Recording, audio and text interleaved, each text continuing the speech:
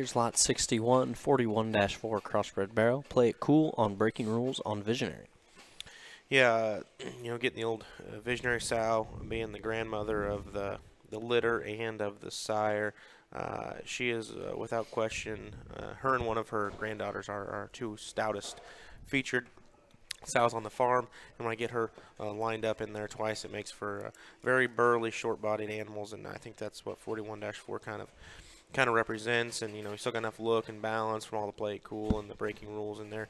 Um, and the the the dam of the 41 uh, litter is a litter mate to the mother of rightfully so. The board lairds bought from us last fall that uh, I haven't seen in person, but uh, every, all the reports. Uh, uh, they say that he's very, very good, and uh, you know, been well accepted by those that have seen him and are breeding sows to him. So these would be full mates.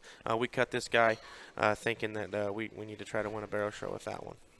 Yeah, I think uh, the extras on this one are certainly there. Uh, the power, the bone, the uh, the foot size, plenty of shape up high um, one that I think genetically is bred to continue to uh, to grow and, and, and, hit the big ring and uh, and certainly compete because, uh, like you said, uh, sometimes ones like this don't get cut this early around here, but yep. Uh, you're you're wanting to win crossbred uh, barrow shows, and, and I don't blame you. And I think this one could certainly do that because he's dense, he's burly, he's shaggy. Uh, all those things we hear uh, judges say about their uh, their champion crossbred males. So again, this is lot 61, 41-4.